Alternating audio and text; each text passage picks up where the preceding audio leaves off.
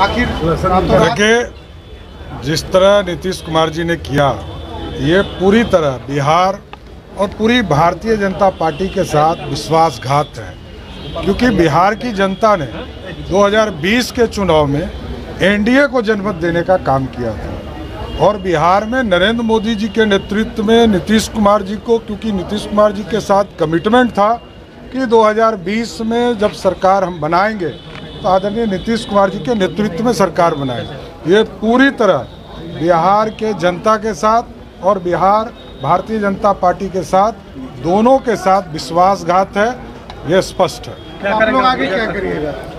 आगे हम लोग जनता के बीच में जाएँगे। हम लोगों ने जो काम किया जो भारतीय जनता पार्टी की सरकार में जो चीज़ें स्थापित करनी थी उस पर हम लोग जनता के बीच में जाएँगे कि हम लोग काम कर रहे थे। और हम लोगों को काम करने से रोका गया। नीतीश कुमार ने कहा कि नेताओं के साथ काम करना बहुत क्या नीतीश देखिए भारतीय जनता पार्टी का कैसा संबंध है मैं बता देना चाहता हूँ। जा उन्नीस सौ छियानवे में उन्नीस सौ छियानवे में जब समता पार्टी तो उन्नीस सौ चौरानवे में बना मैं तो उस दिन से देख रहा हूँ।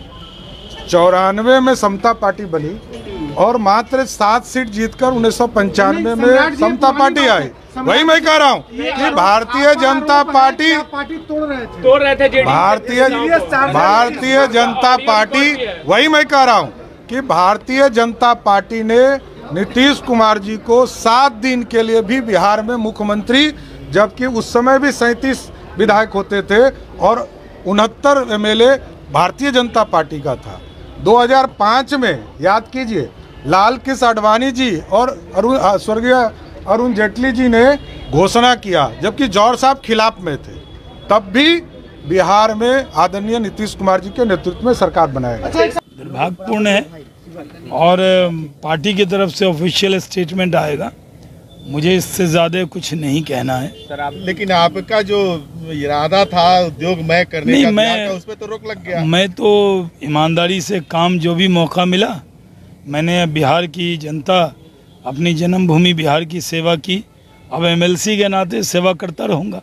क्या लग रहा है ये जिस तरह से बिहार 2020 के जनादेश का ये उल्लंघन नहीं है जिस तरह से 2017 मेरी पार्टी की तरफ़ से बयान दिया गया है। तरफ़ से आया मैं है सिर्फ़ इतना कहूँगा ये बहुत दुर्भाग्यपूर्ण है।